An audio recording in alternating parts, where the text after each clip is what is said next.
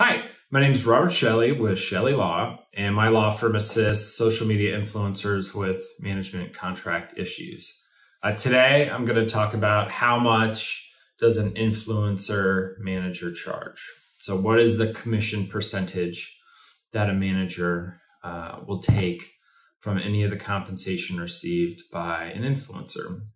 Uh, first, let's talk about the distinction between an agent and a manager. So an agent normally is thought of in kind of the actor realm, and there are specific laws that dictate how much an agent can charge an actor, and they have to be a member of a licensed agency. And there are some specific rules that dictate what they can and can't do. Uh, the influencer market is at this point pretty much unregulated. So uh, I find that you know actors have kind of dual roles of an agent uh, and a manager who do separate things for them. Whereas I find most influencers think of an agent and manager as kind of the same thing. And that would be somebody who facilitates business opportunities for the influencer and then assists in negotiating the price, dealing with the contract. I think most influencers think of that uh, in the same capacity simply because they're not there's no need to have both uh, as an influencer. I mean, I guess uh, an influencer who's just, you know, you know, one of the biggest influencers could have a manager who who kind of generally handles the day to day issues for uh, talent, uh, whereas the agent generally handles kind of the you know the nuts and bolts business stuff. Um, but for most influencers, that's unnecessary. One one person can do the job, and so it can be known as both an agent or a manager. All right. So as far as a percentage goes, uh, as I said before, uh, agents, um, you know, for actors in California are capped at 10%, whereas uh, the influencer market is essentially unregulated at this point. So I find most management agencies uh, or managers uh, charge around 20%, uh, you know, commission. It can be less, can be a little bit more, but somewhere between 10 to 20% is, is a standard amount. Now that, that certainly is negotiable. Um, it, it, really is probably based upon the experience of the manager, uh, the client base they have, the, you know, proven track record. If you have, uh, you know, a manager who doesn't have much experience, you should, you simply shouldn't pay them as much, at least initially, until they prove themselves.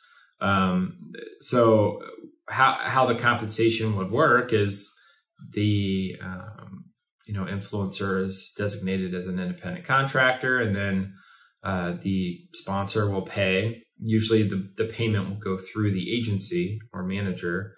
The manager will take their cut, and then the rest of that will go into whatever designated bank account that the uh, influencer has wanted the money to go into.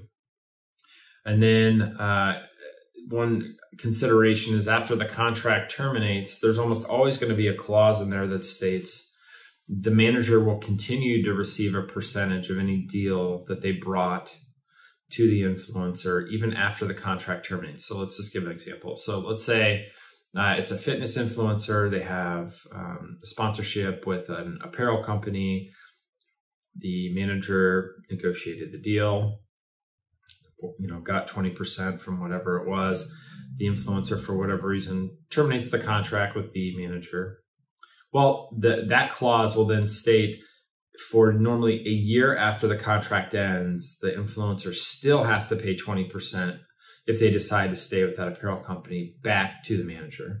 Uh, the, the, reason why managers do this is what they don't want to do is uh, get a deal bring it to the influencer. Maybe it's an awesome opportunity. The influencer terminates the agreement, still takes the deal, and then avoids having to pay the manager any commission. Now, uh, everything's negotiable, so you can certainly try to negotiate reducing the amount of time you have to pay the manager after the contract terminates, or maybe um, reducing the percentage, maybe by quarter. So if you go 20% in Q1, 15, 10, 5, something like that. Um, but it's very rare that you're going to get a management contract that doesn't have some kind of language uh, like that. I mean, uh, honestly, it's obviously a reasonable uh, request by a manager. Um, it just it would be unfair if they would bring a deal to someone and then have that person avoid having to pay them anything. Uh, another thing to think about is uh, if the uh, manager has an exclusive relationship with the talent. So normally any kind of management contract is going to be exclusive, which means the influencer cannot use anyone else to you know kind of facilitate slash negotiate any of the sponsorship opportunities. Meaning, even if a friend, uh, another influencer, if they were reached out to directly by a sponsor, uh, anything that comes to the influencer has to go back to the manager, and then the manager would be the one who negotiates the deal and, and would get the percentage. Once again, a manager doesn't want um, you know an influencer from getting around having to pay them uh, by having stuff funneled through either a friend or you know contacting the places directly. I mean, the role of the manager is to one, find opportunities that the influencer couldn't do for themselves, but then two, negotiate the price and hopefully uh, they're going to bring in 20% more, uh, you know, than they're taking. So in the long run, it's a, it's a win-win for both uh, parties. So that's how much uh, most influencer managers make. Uh, if you have any questions about your management contract, feel free to call my law firm at the phone number listed below in the description uh, or you can reach us through our website, chellelaw.com. And uh, if you thought this video is helpful, please like, subscribe to the channel as we release videos every single day. All right, appreciate it. Thanks.